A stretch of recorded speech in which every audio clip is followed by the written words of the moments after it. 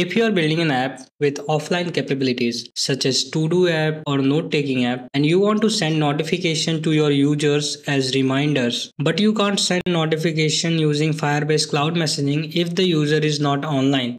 So let's learn how to send notification to your users if they are offline. It's not sending notification, it's more like triggering a notification based on some events or some users input. Uh, so let me show you a demo here. So this is a real device and it does not have internet connection as you can see here. Let's trigger a notification to check if it's working or not. So let me add a title and some content here.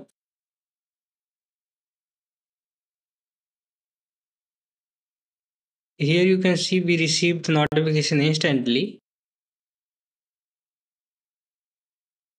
Now let's test a schedule notification. Let me add some title and content. And in the time section, let me select a time after one minutes. Send notification. So let's wait for a minute. Let me fast forward this to show you.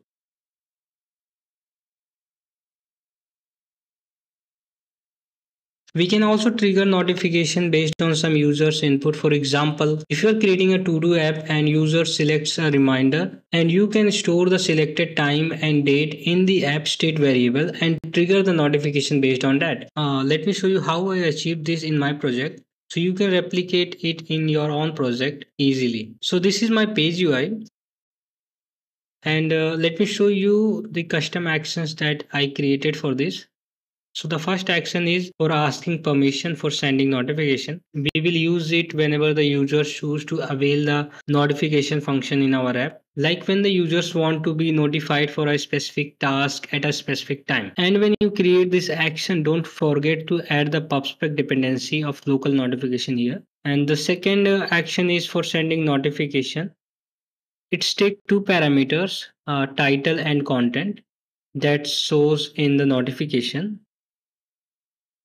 and uh, the third action is for scheduling notification for a specific time and this will take three parameters title content and time now let me show you how to use these custom actions to trigger notification based on user input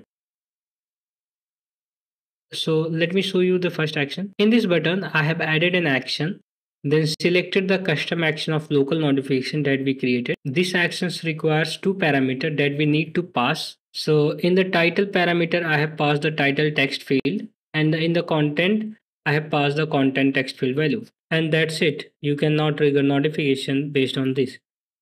Now let me show you the second action that sending notification on users given input time.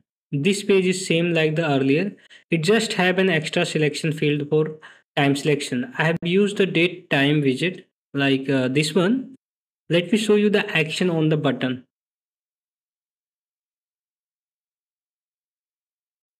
On the tab action, I have selected the schedule notification custom action and passed this parameter. So in the title, I have passed the title text field and in the content, I have passed the content text field value.